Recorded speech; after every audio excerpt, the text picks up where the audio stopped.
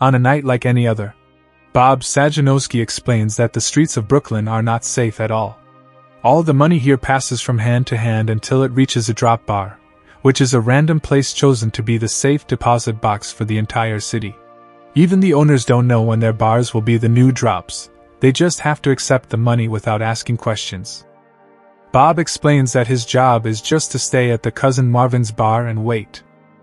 On a new night, a group of men toast for an old friend who went missing, named Richie Whelan, with a drink on the house, something that Marvin, the former owner of the bar, doesn't like, because Bob is a nice guy and he allows many people to stay at the bar, drink and smoke even if they can't afford it, like these guys, and also this old woman named Millie.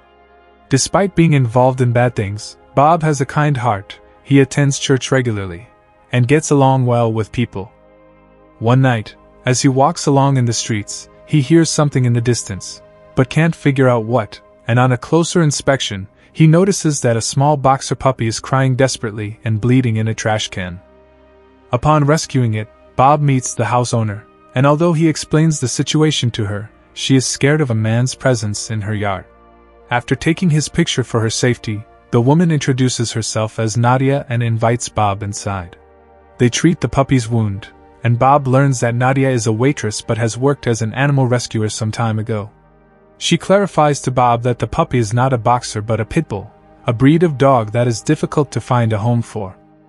Bob has the same thought as the other people that pit bulls are a dangerous breed, but Nadia explains that their bad reputation is mostly their owner's fault.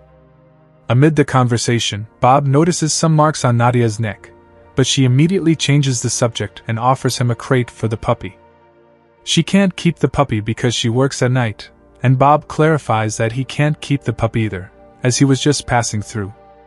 Nadia reveals that the puppy will be taken to the shelter, giving a week for the owner to show up, otherwise, it will be put up for adoption. Although Bob is reluctant to take the responsibility, he asks Nadia to keep the puppy for a few days so he can think about it. He later talks to Marvin about it. Marvin tells him that it's just a puppy, and it will not be difficult to take care of it. After a regular night at the bar, a couple of masked crooks burst in after everyone had left, demanding the day's money. Marvin tries to talk with them, but they are very nervous to talk. Meanwhile, Bob notices something about the watch one of them is wearing, as it seems to be stopped at a specific time. After getting the money, the robbers leave, while Marvin and Bob goes to see Rardy, the bar's doorman, who was lying severely wounded. Later, Detective Evandro Torres appears, introducing himself as one of the guys who always sees Bob at the church. Evandro investigates what happened, and Bob tells him about the stopped watches they were wearing, and also comments that only the money from the register was taken, with no mention of any other illegal activity. In their casual conversation, Evandro mentions how he has noticed that Bob never takes communion during Mass in the church, but Bob is defensive, saying that it's his own business. As Evandro leaves, Marvin criticizes Bob for giving Evandro a clue about the watch thing. Bob thinks that the crooks just took them for 5000 and so they should not worry much about it. But Marvin corrects him as the bar owners will want the money back sooner or later. The following day, Bob is the first one to arrive at the Mass, and after that, he goes to Nadia's house to pick up the puppy. She hands him a bowl and some food for the puppy and then he leaves. But he returns a few seconds later, to nervously confess to Nadia that he has never owned a dog before. Together they go shopping, and Nadia explains the basics to him, and when it comes to naming the dog, Bob names it Rocco, after seeing a statue of Saint Rocco in the church this morning. As he drops Nadia off at her house on his way home, a mysterious guy watches them from a distance. Bob do some changes in his house for the dog, as now the two will live together. Back at work, Chovka Umarov, owner of the bar, appears in front of Marvin and Bob with his men. They have an injured guy in the back of their van. They talk about the robbery from the other night, demanding his money back by threatening them. Meanwhile, Evandro seeks information about Umarov and the bar, wanting to know more about Marvin and Bob, as he believes that they had something to do with the robbery. In the following scene, we see Marvin acting weird at home. It turns out that the robbery was planned by Marvin, when we see him talking to one of the masked robbers privately. The next morning, Bob walks in the park with Rocco, meeting Nadia while passing. She tells him that he can hire her to look after Rocco while he works at the bar, as the Christmas season is over, and she now has less work to do at the restaurant. At Marvin's house, his sister Dottie explains to him how their plugged father will be transferred to a worse place due to unpaid expenses. And while she mentions unplugging him, Marvin insists on keeping him alive, as he is confident that he will rob the drop bar and get money. Meanwhile, the friendship between Nadia and Bob improves, because of Rocco, but when she leaves the park, the mysterious guy we saw before returns.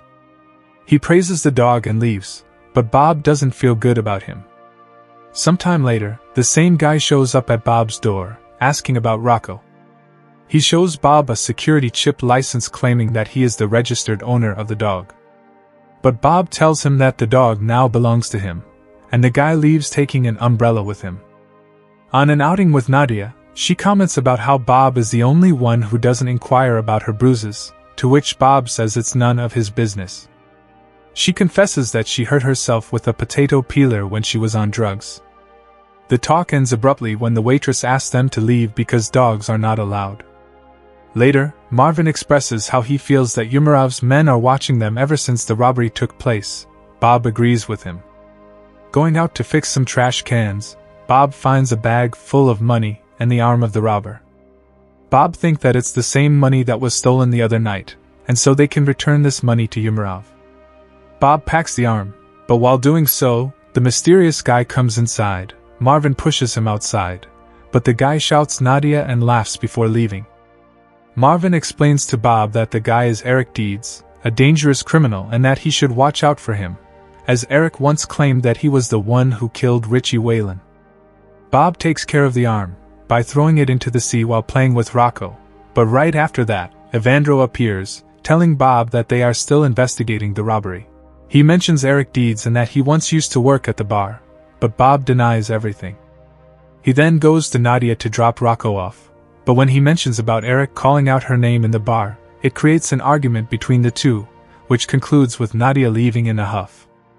Later, when Bob was telling about this to Marvin, Umarov shows up at the bar. Bob offers him a drink and the money. He accepts the money and informs them that the next drop job is on the Super Bowl night. Bob stops by to pick up Rocco, where Nadia apologizes for her attitude. Bob expresses his concerns about Eric trying to steal the dog from him so Nadia finally confesses that Eric used to be her boyfriend, but after a while, their relationship became complicated, so they split up. Bob doesn't judge her for any of this, and nor does Rocco. She asks him about his relationship with the bar, and Bob tells her that Marvin is actually his real cousin, and they have known each other for a long time. Bob used to be in a crew before, and do bad things in the town, but now he's just the bartender at the bar. Meanwhile, Marvin is looking for Fitz, one of the crooks from the robbery, who tells Marvin about his brother's disappearance. Marvin tells him about the Super Bowl job, but Fitz refuses to do it this time and leaves. Before leaving, Marvin asks him to close the trunk properly, but when Fitz does so, Marvin runs him over from behind and leaves the crime scene in a new car. Bob leaves Nadia at her house, and when he returns home, he finds the umbrella that Eric took with him. Marvin meets Eric in a coffee shop and tries to have his way with him. Apparently, Eric doesn't like the idea that Bob feels happy with his dog, and so Marvin offers him a solution to their problem. Meanwhile, Evandro got his hands on Eric's files and is surprised by what he reads. Bob goes to Eric's house, where Eric tells him that he will let go of the dog if Bob gives him 10 grands the next morning, and if he didn't, he will go to the cops and get his dog back to torture him for his pleasure. Later, Bob visits Marvin and explains that they will have temporary employees for the Super Bowl night. Bob also doubts if Marvin had something to do with the robbery, but Marvin gets angry on this and asks him to leave. Next morning, Bob waits for Eric with the money, but instead of Bob, Eric goes to Nadia's house and forces her to go on a date with him tonight. That night at the bar, the customers arrive as Bob keeps nervously attending them, while also doing the money work. But then out of nowhere, Nadia appears accompanied by Eric. Bob asks him why he is here with Nadia and why didn't he come this morning to take the money. But Eric doesn't give much answers to him and walks out while talking to Marvin on the phone. Later, when the bar is all empty, Eric sits in front of Bob with Nadia. Then, Bob hands him the 10 grands for the dog. But Eric is not pleased. Instead, he wants to open the safe to steal the collected money, and even threatens to hurt Nadia if Bob doesn't open the safe exactly at 2 a.m.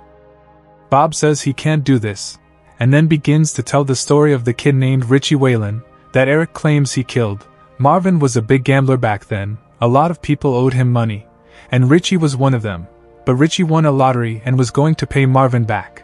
But for their own safety, Bob had to kill the boy, and he even explains how he disposed the boy's body very inhumanly. Eric confidently says that it was him who killed that boy Richie, but then Bob shoots him dead, revealing his cold and heartless nature to Nadia. In front of a scared Nadia, Bob insults Eric and people like him. Nadia, with her shaking voice, asks Bob if she can go now, promising Bob that she will never tell anyone what she saw today. Bob simply says yes. As Nadia leaves, Marvin is seen in his car outside the bar, keeping an eye on everything.